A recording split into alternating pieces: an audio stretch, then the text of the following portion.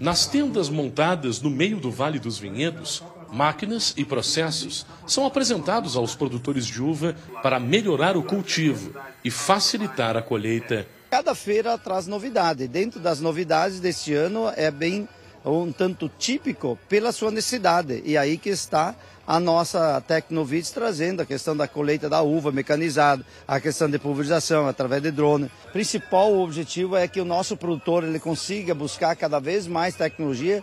Isto hoje não dá para trazer em cifra, em números, mas o futuro da nossa viticultura e nosso meio rural.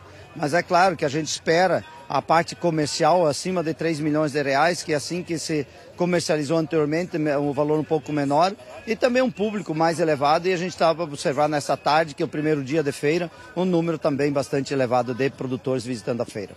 Nos três dias de evento, são pelo menos 200 demonstrações técnicas que devem ser realizadas. O produtor, depois de conhecer o equipamento, tem a oportunidade de ir direto no estande, efetivar na prática o negócio. São mais de 140 expositores.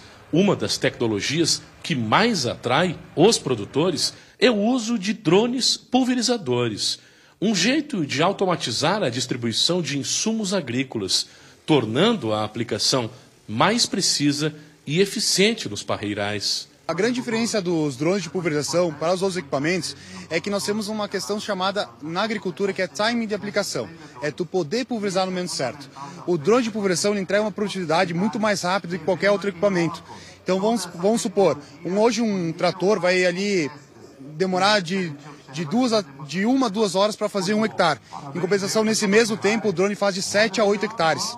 A feira vai até sexta-feira e a expectativa é que 10 mil pessoas passem pelo evento. O acesso é gratuito. A gente não é só a máquina, mas também conhecimento que é através das palestras, seminário que está à disposição a partir das 8h15 da manhã no auditório aqui do Vale dos Vinhedos, no caso no Vila Miquelão.